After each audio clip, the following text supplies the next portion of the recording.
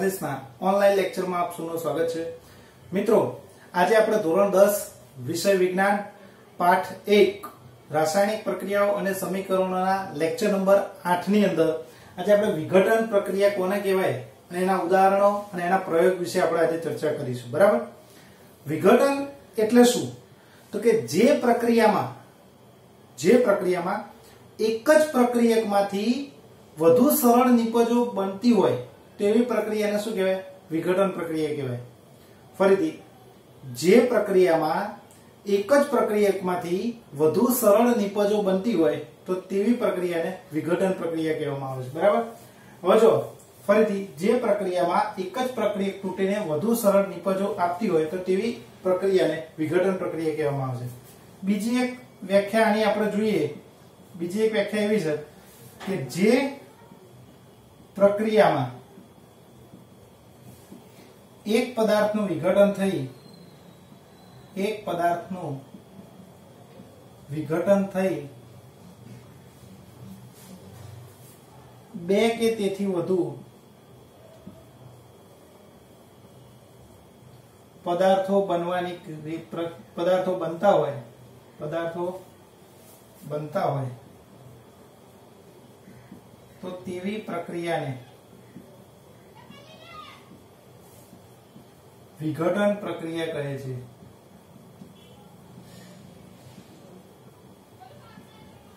બરાબર? બીજી એક વ્યાખ્યા એવી સાની કે જે પ્રક્રિયામાં અણુઓનું, નાના અણુમાં વિભાજન થતું હોય, જે પ્રક્રિયામાં અણુઓનું, નાના અણુઓમાં વિભાજન થતું હોય, તો તેવી પ્રક્રિયાને વિઘટન પ્રક્રિયા કહે છે. જે પ્રક્રિયામાં નાના અણુઓનું અથવા અણુઓનું અણુઓનું નાના અણુઓમાં વિભાજન થતું હોય. વિભાજન થતું હોય.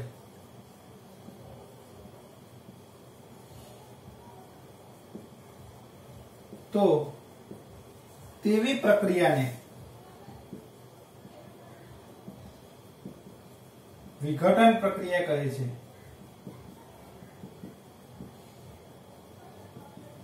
આ એની ત્રણ વ્યાખ્યા થઈ ગઈ. બરાબર? ફરીથી, પહેલી વ્યાખ્યા એવી છે કે જે પ્રક્રિયામાં એક જ પ્રક્રિયક તૂટીને વધુ સરળ નિપજો બનતી હોય, તો એ પ્રક્રિયાને શું કહેવાય? વિઘટન પ્રક્રિયા કહેવાય. બીજી વ્યાખ્યા એની એવી છે કે જે પ્રક્રિયામાં એક જ પદાર્થનું વિઘટન થઈ કેટલા એક જ પદાર્થનું વિઘટન નહીં, બે કે તેથી વધુ પદાર્થો બનતા હોય, તો તેવી પ્રક્રિયાને વિઘટન પ્રક્રિયા કહેવાય. અને ત્રીજી વ્યાખ્યા એવી છે કે જે પ્રક્રિયામાં અણુઓનું અણુઓનું નાના અણુઓમાં રૂપાંતર થતું અથવા વિભાજન થતું હોય, તો તેવી પ્રક્રિયાને વિઘટન પ્રક્રિયા કહેવામાં આવે છે. બરાબર? હવે આના આપણા ઉદાહરણ લઈએ આપણે થોડા. બરાબર? એમાં પહેલું ઉદાહરણ એ છે FeSO4 એટલે કે ફેરસ સલ્ફેટ એના આપણે ઉષ્મા આપીએ. તો શેમાં રૂપાંતર પામશે? તો કે Fe2O3 ferric oxide ferric oxide અને આ છે ફેરસ સલ્ફેટ Fe2O3 વત્તા SO2 ગેસ. આને કહેવાય sulphur dioxide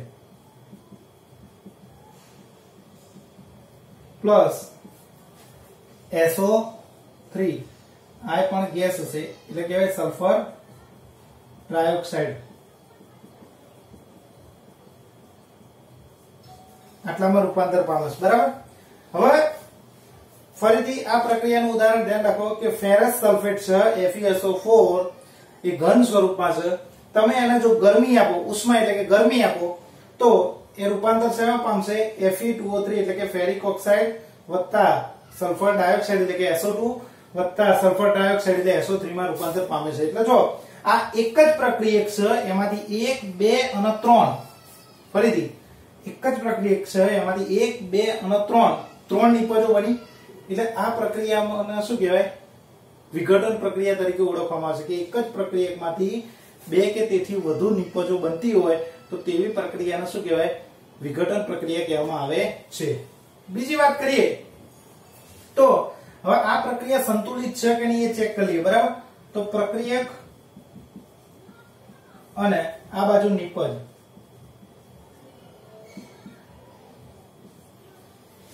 તો પ્રક્રિયક બાજુ એફઈ પછી એસ અને ઓ આટલા છે. અહીંયા નિપજ બાજુ છે એફઈ એસ અને ઓ પ્રક્રિયક બાજુ એફઈ ની સંખ્યા કેટલી છે? તો કે એક સલ્ફરની એક ઓક્સિજન ચાર. ફરીથી પ્રક્રિયક બાજુ આયર્ન એટલે કે એફઈ ની સંખ્યા કેટલી છે?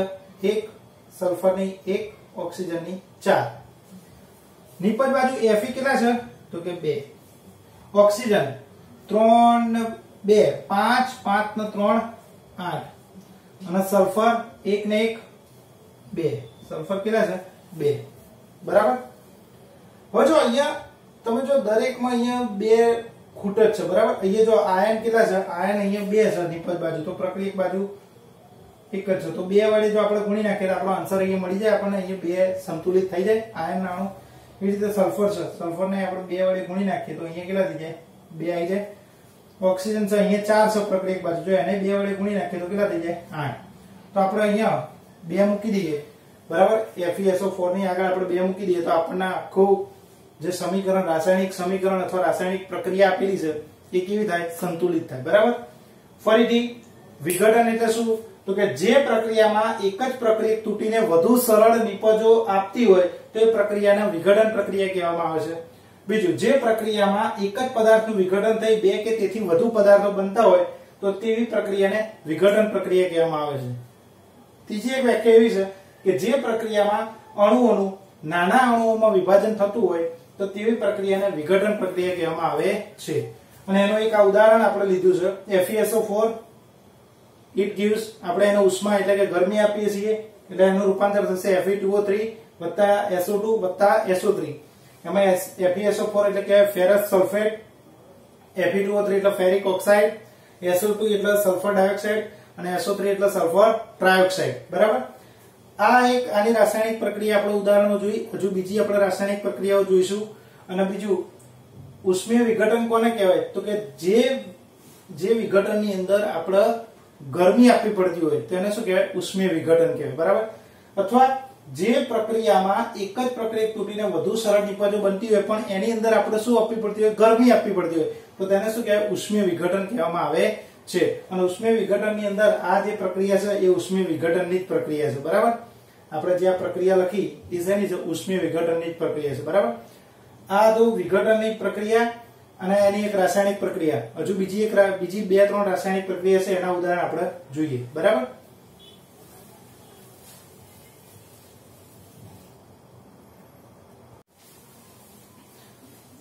હવે, વિઘટન પ્રક્રિયાના આપણે અન્ય ઉદાહરણો જોઈએ. તેમાં પહેલું છે એજીસીએલ એજીસીએલ એટલે એને કહેવાય સિલ્વર ક્લોરાઇડ. બરાબર? આને શું કહેવાય? Silver chloride. હવે, સિલ્વર ક્લોરાઇડ, જો તમે સૂર્યપ્રકાશની હાજરીમાં રાખો, તો શું થશે? એજી એટલે કે ચાંદી મળશે. એનું રૂપાંતર થશે ચાંદીમાં અને Cl2 એટલે કે ક્લોરીન વાયુ છૂટો પડશે. બરાબર? ક્લોરીન વાયુ શું થશે? છૂટો પડશે. બરાબર? હવે આ જે થઈ એ વિઘટનની પ્રક્રિયા થઈ, બરાબર? કારણ કે જો એક જ પ્રક્રિયકનું બીજા બે નિપજની અંદર રૂપાંતર પામે છે અને સૂર્યપ્રકાશની આપણે હાજરી છે, બરાબર? ગરમી મળી, સૂર્યપ્રકાશની હાજરીમાં એને શું થશે? ગરમી મળશે, બરાબર? હવે આ પ્રક્રિયા એ સંતુલિત છે કે નહીં એ જોઈ લઈએ. પ્રક્રિયક અને નીપજો પ્રક્રિયા એક બાજુ આપણે જોઈએ તો એજી અને સીએલ બે છે, બરાબર? એટલે કે સિલ્વર ક્લોરાઇડ છે. એજી એજી ના કેટલા અણુ છે? એક. સીએલ ના એક. અહીંયા એજી ના એક અણુ અને સીએલ ના પણ એક અણુ છે. નિપજ બાજુ એજી અને સીએલ એજી ના કેટલા અણુ છે? બે. અને સીએલ ના બે. હવે જો અહીંયા સંતુલિત કરવા માટે આપણે બંનેના બે વડે ગુણવું પડશે, તો બંનેને આપણે શું કરીએ? બે વડે ગુણી નાખીએ. બરાબર? તો અહીંયા જો બે વડે આપણે શું કરી નાખીએ? ગુણી નાખીએ છીએ. બરાબર? એટલે આખી પ્રક્રિયા હવે થઈ કેવી થઈ ગઈ? સંતુલિત થઈ ગઈ. બીજું એક તમને કહું કે આ જે એજી છે ને એજી એનું રાસાયણિક નામ છે આર્ગેન્ટમ. ખાસ યાદ રાખજો, આનું રાસાયણિક નામ છે આર્ગેન્ટમ. બરાબર? આ હતી વિઘટન પ્રક્રિયા, બરાબર? એનો બીજું એક ઉદાહરણ. આપણે આની પહેલા FeSO4 નું એટલે કે ફેરસ સલ્ફેટનું એનું જોઈ લીધું. અને અગાઉના લેક્ચરમાં આપણે જે આગળના જે પેલા લેક્ચરો ભણ્યા, એની અંદર CaCO3 બરાબર? કેલ્શિયમ કાર્બોનેટનું એનું આપણે ભણી ગયા. એ પણ વિઘટન પ્રક્રિયાનું જે ઉદાહરણ છે. પછી લેડ નાઇટ્રેટ એનું પણ ભણી ગયા. એ પણ વિઘટન પ્રક્રિયાનું ઉદાહરણ છે, બરાબર? બીજું હવે આપણે જોઈશું H2O બરાબર? H2O પા- એટલે કે પાણી એ પ્રવાહી સ્વરૂપે છે, બરાબર? તો પાણીની અંદર તમે મંદ સલ્ફ્યુરિક એસિડ હોય, એ મંદ સલ્ફ્યુરિક એસિડના બે, ત્રણ ટીપા નાખો.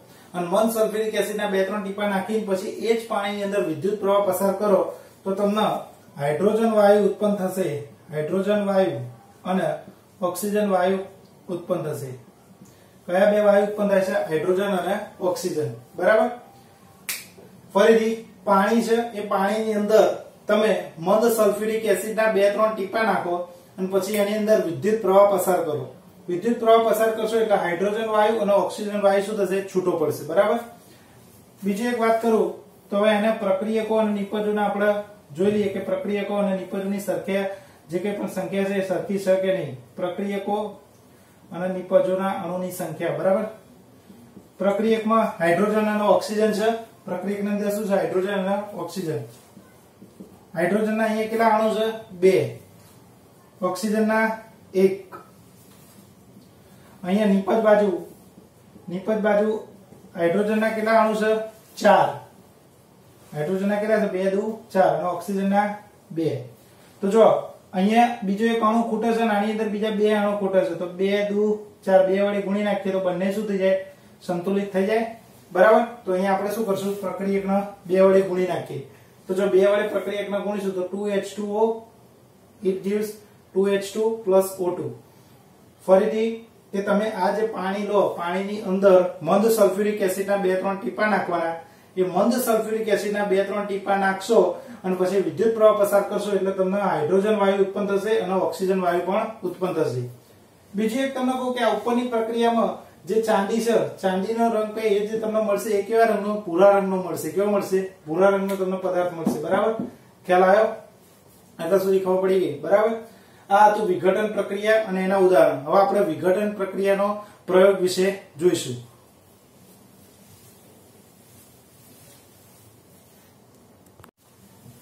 હવે, અહીંયા પ્રયોગશાળામાં ફેરસ સલ્ફેટનું વિઘટન સમજાવતો પ્રયોગ વિગતવાર સમજાવો. એવો પ્રશ્ન પૂછાઈ શકે છે. બરાબર? પરીક્ષા માટે અને અહીંયા તમને આ પ્રયોગ અહીંયા આપણે કઈ રીતના થાય છે એ સમજાવીશું. બરાબર? અને બીજું કે આ જે પ્રયોગ છે, આ પ્રયોગ અહીંયા આપણે ક્લાસની અંદર સમજ્યા બાદ પ્રયોગશાળામાં કેવી રીતે આ પ્રયોગ થાય છે એ પણ આ વિડીયોની અંદર, એનો વીડિયો અંદર સામેલ કરેલો છે. બરાબર? એટલે જો, પહેલા તો આપણે મેં તમને સૌ પહેલા લેક્ચરની અંદર કીધું હતું કે કોઈ પણ તમને પ્રયોગ વિશે પૂછવામાં આવે કે દાખલા તરીકે કોઈ પણ પ્રયોગ તમને સાબિત કરવાનું કીધો અથવા સમજાવવાનું કીધો છે તો એ પ્રયોગ તમારે સ્ટેપ બાય સ્ટેપ લખવો પડે. પહેલા તો હેતુ આવશે, પછી સાધનો આવશે, પછી પદાર્થો, પછી એની આકૃતિ આવે. ત્યારબાદ એ આકૃતિ પૂરી થાય એટલે એની રીત દર્શાવવી પડે. રીત પછી એ જે તે પ્રક્રિયા હોય એનું રાસાયણિક સમીકરણ આવે. અને રાસાયણિક સમીકરણ પછી એનું અવલોકન લખવાનું. અવલોકન પછી એનો નિર્ણય આવે. બરાબર? તો આપણે આ ફેરસ સલ્ફેટનું વિઘટન સમજાવતો જે પ્રયોગ છે એ આપણે અહીંયા સમજાવવાનો છે. તેમાં પહેલું હેતુમાં એવો હશે. કે પ્રયોગશાળામાં ફેરસ સલ્ફેટનું વિઘટન કરવું. હેતુની અંદર શું હશે? પ્રયોગશાળામાં ફેરસ સલ્ફેટનું વિઘટન કરવું. સાધનોની અંદર શું લઈશું? શુદ્ધ ઉત્કલન નળી, એટલે જે આપણે ટેસ્ટ ટ્યુબ લઈશું, બરાબર? એ શુદ્ધ હોવી જોઈએ. અંદર બીજું કોઈ પણ અગાઉ આપણે જે કંઈ પણ પ્રયોગ કર્યો હોય, એનો અંદર રસાયણ કે એના અણુઓ રહી જવાના જોઈએ. એટલે એના ચોખ્ખી આપણે ગરમ પાણી અથવા પાણીથી એને શું કરવી પડશે? સરખી રીતે વોશ કરેલી હોવી જોઈએ. બરાબર? એટલે શુદ્ધ ઉત્કલન નળી ટેસ્ટ ટ્યુબ હોલ્ડર એટલે જે એ ટેસ્ટ ટ્યુબ હોય ટેસ્ટ ટ્યુબ પકડવા માટેનો હોલ્ડર અને બર્નર આટલી જરૂર પડશે, બરાબર? પદાર્થની અંદર આપણે જરૂર પડશે ફેરસ સલ્ફેટ ફેરસ સલ્ફેટ ખાસ ધ્યાન રાખજો, એ લીલા રંગનું હશે, બરાબર? અને જ્યારે એને તમે ગરમ કરશો એટલે એનો રંગ જે પરિવર્તન આવે એ જોવા લાયક હશે. આકૃતિની અંદર, આકૃતિમાં આપણે અહીંયા બર્નર આપણે મૂક્યું છે, ટેબલ ઉપર ટેસ્ટ ટ્યુબ અને હોલ્ડર આપણે પકડેલું છે, બરાબર? અંદર શું કરશું? સૌ પ્રથમ રીતમાં આપણે જોઈએ કે આકૃતિમાં દર્શાવ્યા પ્રમાણે આપણે આકૃતિમાં દર્શાવ્યા પ્રમાણે સાધનો ગોઠવી નાખશું. હવે ત્યારબાદ બે ગ્રામ જેટલો આપણે શું કરશું? અંદર બે ગ્રામ જેટલો ઉત્કલન નળીની અંદર ફેરસ સલ્ફેટ દાખલ કરીશું અને ટેસ્ટ ટ્યુબ હોલ્ડર વડે હવે એને પકડી દઈશું ત્યારબાદ અહીંયા બર્નર આપણે સળગાવીશું.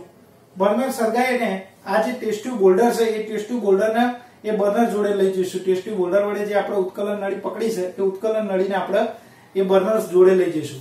બર્નર જોડે લઈ જઈશું એટલે શું થશે કે આ ફેરસ સલ્ફેટ છે, એ ફેરસ સલ્ફેટ ગરમ થશે, એના સ્ફટિક જે હશે એ સ્ફટિક ગરમ થશે અને એનો વાયુ ઉત્પન્ન થશે.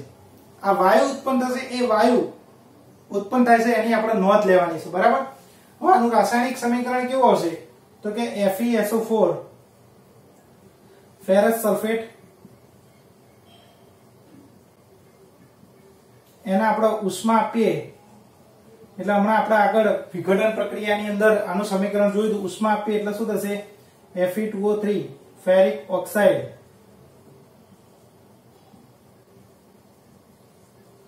વત્તા SO2 વત્તા SO3 આ બંને ગેસ સ્વરૂપમાં હશે. બરાબર? આ કહેવાય સલ્ફર ડાયોક્સાઇડ અને આને કહેવાય સલ્ફર ટ્રાયોક્સાઇડ. અહીંયા જોશો તો અહીંયા Fe ના બે અણુ છે. તો અહીંયા પણ Fe ના બે અણુ મૂકવા પડશે. હવે પ્રક્રિયા આખી જો સંતુલિત થઈ ગઈ. આ પ્રક્રિયા સંતુલિત કરી છે આપણા અગાઉના લેક્ચરમાં મેં તમને બતાવેલું છે. બરાબર? કે પ્રક્રિયા કઈ રીતના સંતુલિત થાય આપણે વિઘટન વાળું જે પ્રક્રિયા અંદર સમજી, એની અંદર આપણે આ કઈ રીતના સંતુલિત થાય છે મેં બતાવ્યું. બરાબર? હવે અવલોકનમાં શું થશે? તો કે અવલોકનમાં આપણને એ જાણવા મળશે કે જ્યારે આપણા ફેરસ સલ્ફેટ છે, એના સ્ફટિકને આપણે ગરમ કરીશું, તો એ ગરમ કરીશું એટલે એનો જે લીલો રંગ છે, એ લીલો રંગમાં શું થાય છે? અલગ અલગ રૂપાંતરિત થશે. બરાબર? એનો રંગ બદલાશે. બીજું કે આ જે આને તમારે શું કરવાનું કે જ્યારે ગરમ કરો એટલે અંદરથી થોડા ધુમાડા નીકળે એટલે તમારે સહેજ એને શું કરવાની? તમારી નાક બાજુ એને રાખવાની છે. આ ઉત્કલન નળીને થોડી તમારી નાક બાજુ. એટલે એની લાક્ષણિક વાસ આવશે. શું થશે? લાક્ષણિક વાસ આવશે. બરાબર? ખ્યાલ આવ્યો? આ આપણને અવલોકન એનું જાણવા મળ્યું. બરાબર? બીજું કે નિર્ણયની અંદર શું હશે કે જ્યારે તમે ફેરસ સલ્ફેટ ફેરસ સલ્ફેટનું તમે વિઘટન કરો, એટલે એમાંથી ફેરિક ઓક્સાઇડ સલ્ફર ડાયોક્સાઇડ અને સલ્ફર ટ્રાયોક્સાઇડ આપણને મળે છે. ફરીથી આ જે ફેરસ સલ્ફેટ છે એ ફેરસ સલ્ફેટને આપણે ગરમ કરીએ, એને ઉષ્મા આપીશું, એટલે એનું ફેરિક ઓક્સાઇડ સલ્ફર ડાયોક્સાઇડ અને સલ્ફર ટ્રાયોક્સાઇડ આપણને મળશે. બરાબર? ફરીથી આ જે પ્રયોગ છે, એ પ્રયોગશાળામાં આપણે શું કરશું? ફેરસ સલ્ફેટનું આપણે વિઘટન કરવું છે. તો વિઘટન કરવા માટે સૌપ્રથમ મેં કીધું રીતે હેતુ આપણે દર્શાવવો પડે. હેતુમાં શું હશે? પ્રયોગશાળામાં ફેરસ સલ્ફેટનું વિઘટન કરવું. ત્યારબાદ એના સાધનોમાં શુદ્ધ ઉત્કલન નળી, ટેસ્ટ ટ્યુબ હોલ્ડર અને બર્નરની આપણે જરૂર પડશે. પદાર્થની અંદર ફેરસ સલ્ફેટ લઈશું. આકૃતિ આપણે દર્શાવી છે, બરાબર? એમાં બર્નર, ઉત્કલન નળી, ટેસ્ટ ટ્યુબ હોલ્ડર બરાબર? સૌ પ્રથમ આપણે શું કરશું? બે ગ્રામ જેટલો અથવા બે મિલીગ્રામ જેટલો આપણે શું કરશું અંદર? એની અંદર ફેરસ સલ્ફેટ નાખશું અને બર્નર વડે આપણે ગરમ કરશું. અને એનું રાસાયણિક સમીકરણ છે FeSO4 ઉષ્મા Fe2O3 SO2 SO3 આ જે સમીકરણ છે એને તમે સંતુલિત નથી, એટલે સંતુલિત કરશો એટલે અહીંયા ટુ આવશે, એટલે 2 FeSO4 બરાબર? અવલોકનની અંદર આપણને જોવા મળે છે કે આની અંદર જે સ્ફટિક હોય છે, સ્ફટિકનો લીલો રંગ બદલાય છે. બીજું કે આમાં તમે જે ટેસ્ટ ટ્યુબ જે છે અથવા ઉત્કલન નળી, એને તમારા થોડી તમારા નાક બાજુ રાખવાની છે. એટલે અંદરથી જે વાયુ જશે, ઉત્પન્ન થશે અંદરથી. બરાબર? આ ઉત્કલન નળીમાંથી જે વાયુ ઉત્પન્ન થશે, એ લાક્ષણિક વાસ ધરાવતો હશે. બરાબર? હવે નિર્ણયની વાત કરીએ તો નિર્ણયમાં શું થશે? તો કે જ્યારે આપણા ફેરસ સલ્ફેટ છે, એ ફેરસ સલ્ફેટને આપણે ગરમ કરીએ એટલે એનું ફેરિક ઓક્સાઇડ સલ્ફર ડાયોક્સાઇડ અને સલ્ફર ટ્રાયોક્સાઇડમાં એનું રૂપાંતર થાય છે. બરાબર? આ તો આપણે અહીંયા ક્લાસરૂમની અંદર સમજાવેલો પ્રયોગ. એનો એ જ પ્રયોગ આપણે પ્રયોગશાળામાં અંદર કેવી રીતે થાય છે એ તમને વિડીયોની અંદર સામેલ કરેલું છે. બરાબર? ઓકે.